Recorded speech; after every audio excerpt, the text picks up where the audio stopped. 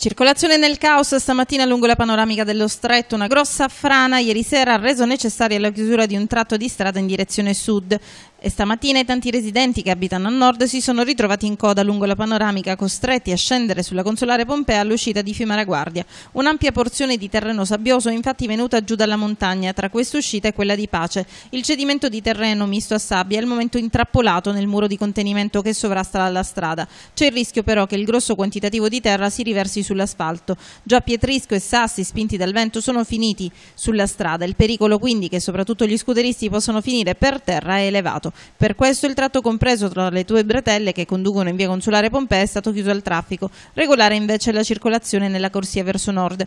I tecnici della città metropolitana di Messina e della protezione civile stamattina hanno effettuato un sopralluogo per decidere come intervenire. Prima però di avviare i lavori si dovrà capire a chi spetta il compito di farlo, perché il terreno oggetto della frana pare sia di un privato. Ci vorrà quindi del tempo prima di riaprire l'importante arteria stradale che oltre a collegare i villaggi e la zona nord al centro urbano serve anche la facoltà di ingegneria e l'ospedale Papardo. Sul posto è intervenuto anche il personale della protezione civile. Per garantire la sicurezza degli automobilisti la zona è costantemente presidiata dalla polizia metropolitana.